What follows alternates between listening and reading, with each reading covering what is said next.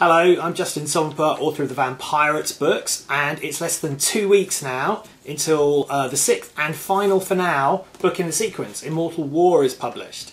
Um, I'm tremendously excited, as I always am when there's a new book out, uh, but possibly more excited and a little bit sad this time because this is the last one, um, at least for the time being. It's called Immortal War. Um, and really, um, it does what it says on the tin. There's a state of war raging across the oceans.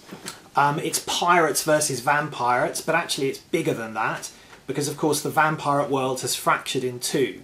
So, as far as this war is concerned, on the one hand, we've got the renegade vampirates led by Sidorio and Lola, Stukely and uh, Johnny Desperado, and then opposing them, we've got an unprecedented alliance of the Pirate Federation and the Nocturnals, the more benign vampirates. So on that side of the war, we've got Cheng Li working with Lorcan Furey, who's working with Cate Morgan and Obsidian Darke. Um, and of course, on that side of the war, we have Connor Tempest and Grace Tempest, who are both very much at the heart of this conflict.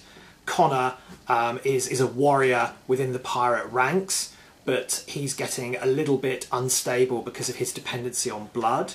And Grace is a very powerful healer. This is really the summit of everything she's been training for and discovering about herself. And she's returned to Sanctuary, where she is healing alongside Mosh Zu.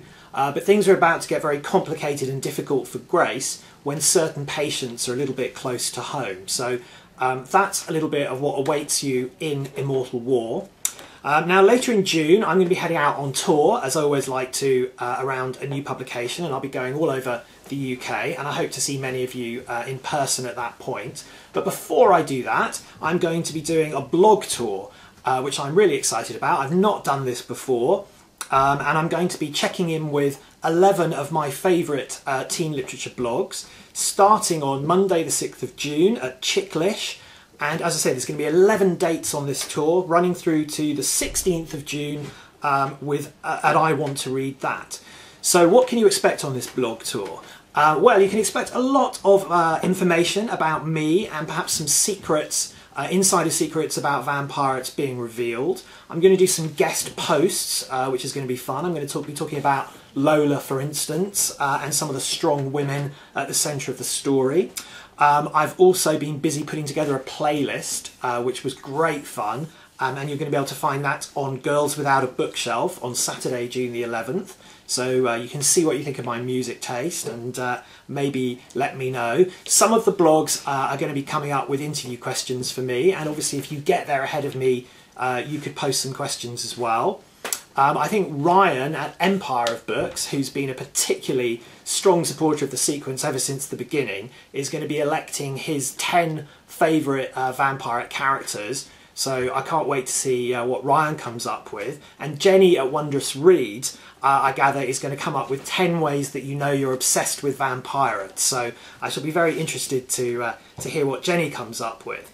There's some competitions as well uh, to win some cool uh, stuff, including books, I, I'm pretty sure. Yes, full set of books, postcards, and all kinds of uh, all kinds of stuff. So, um, if you want to know exactly where I'm going to be when, you need to look further down this page for the full list, which is underneath me.